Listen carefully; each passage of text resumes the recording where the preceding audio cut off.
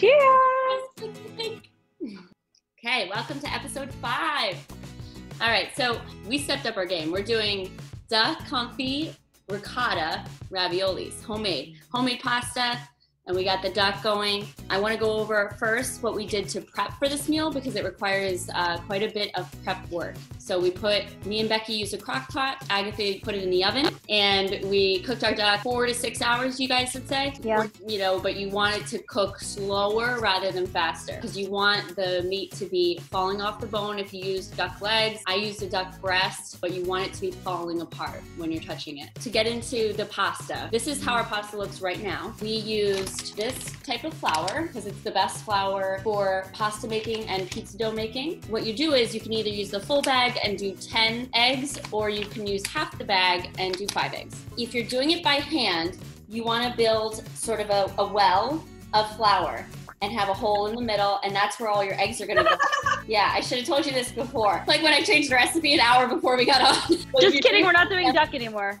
So we're, we're gonna have a well of flour, you know, and all the eggs are gonna go in the middle. And then you're gonna knead the flour into the eggs. The other thing you can do, put it in the old KitchenAid. It takes like two minutes. You know, you still have to knead it a lot. Even if you put it in the KitchenAid, you're gonna have to knead through it. But you wanna make sure there's no grain, there's no flour being felt, nice and firm. It's not sticky. And you're just gonna knead that until it's nice and firm. And then you wrap it in some plastic wrap and you let it sit for at least 20 minutes. So we have had our duck cooking all day. We were able to throw that duck into a food processor. Uh, if you don't have a food processor, you just chop it up and you pull it apart by hand. That's fine. And then we have our pasta ready to be rolled out. So we're gonna start by rolling out our pasta. Now I always keep some extra flour. I don't use this flour. I use regular flour. When we're rolling it out and it feels a little sticky and it's starting to stick to that roller, I have a pasta roller back here.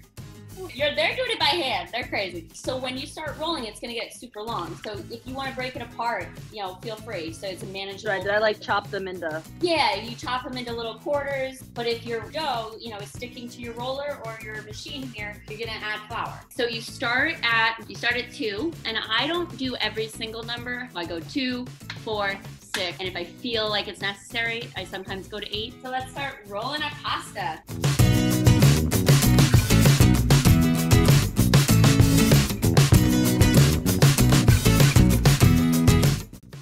If you had the ravioli tins, you would align it on your dough and you cut, leave a little slack on each end.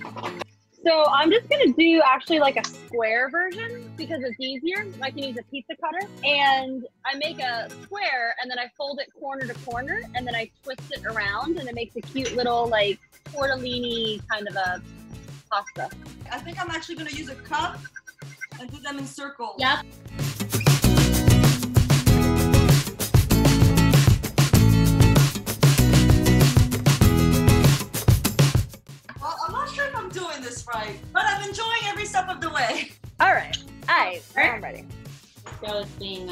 A, bit of a jerk right now.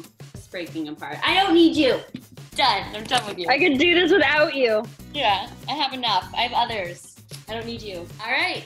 Who is ready to start stuffing? Me. For the sauce that we're gonna add to the duck, it's either white wine or your chicken broth that you use to cook the duck in. And then you do your chopped onion, your minced garlic. You're gonna add a little bit of heavy cream or coconut milk, whatever you prefer. Salt and pepper. You can, this is where you can kind of add your other herbs. Like I'm gonna do a sage. And then you're also gonna add if you have like a little bit of Parmesan cheese or anything like that. So you're just gonna put that together, heat it up a little bit. Just wanna let it simmer. Everything nicely cooked down, and then we're gonna add it to the duck.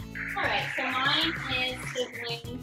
It's um, coming like basically to a boil, and all my onions are getting soft. I'm gonna turn down my heat. Add my heavy cream. You can add milk, heavy cream, coconut milk. Did you add any cheese to it? Yeah, we can add it into the sauce right now so it melts down. So what I'm gonna do, I think, I'm just gonna add a little bit at a time and see. What is the desired consistency? Just supposed to Okay. soak into the duck and so that it can make like sort of a bindy consistency. Now I'm gonna make our cheese filling. So the cheese, you guys have ricotta or what did you guys get? Yep. Ricotta. Salt, pepper, chives, thyme, sage, whatever you got. So you could do this two ways, guys. You can either put it right with your duck. Or if you want to control how much cheese, how much duck, like the ratio, okay, you could put the duck in your ravioli first and then add the cheese. So I have a ravioli press, so I drape my dough over the bottom part of my ravioli press. Then this piece goes on top. So I made little circles. I'm gonna pop it in the center, and I'm gonna just close it off, right? Perfect. So I cut squares instead of circles. While I've got my cheese right here. Perfect. So I'm not, I'm not like I'm gonna do the option of just adding. I like a little bit more cheese, so I'm gonna add put the duck in and then add the cheese on top. It's sort of like the little. Aww. Just to note here, everybody, see what Becky's doing. She's adding egg on the outside of her pasta here to, to hold the pasta together. I'm adding my egg around the whole, all the sides of the pasta. Is this it? Ooh, I like that. What? Yes, that's exactly it. The Okay. press. Because it's, It's really cute. You just take it out of the press, both sides, and then you use the pizza cutter to cut the excess pasta off the sides. Oh. Mhm. See how it's breaking apart. So we need to put less in there next time. Or just I- watch, watch our amateur cooking. For free. I like to pretend. I'm like talking to a million people. I'm like, for our millionth like, we're giving away a Cooking with Friends apron. Feels right. if this is wrong, I don't want to be right. brown butter wine sauce, butter, dry wine, or chicken broth, whatever you prefer. Um, a little bit of heavy cream, a little bit of balsamic vinegar if you have it, and parsley, chives, salt, and pepper. You know, just stay with the seasoning pattern that you've used on, you know, like the duck and the ricotta. The other thing you can do while you're doing this as well is to candy those shallots and duck skin. Well, that's the fun part about cooking for me, at least, is it's kind of like, okay, well, here's the recipe, Right. but yeah, you mix in what works for you. And for the millions of viewers watching, when you don't follow our recipe, we'll judge you silently from the background. oh my gosh, everything is covered in just a little bit of flour. Everything's fine. We're good. the duck skin and the shallots, when they get nice and crispy, Wow. and that's mm. go just on top, like a garnish on top of the, you know, all over your ravioli. So it's literally like high heat and butter, and just let them get really nice and crispy. All right, my water's boiling. How about yours? You guys threw Yep. some raviolis in there. All right, just keep an eye on it. They really don't need a lot of time at all. Done. If you want to add olive oil to the water before you put your raviolis in, it's not going to be a deal breaker, but it will keep them from sticking together.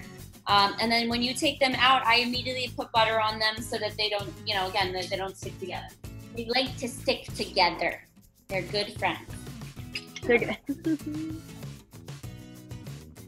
but I wanted to Oh, practice man, first. that freaking sauce came out like, how amazing is that? Okay, guys, I did the plate. oh, look at it! Love you guys.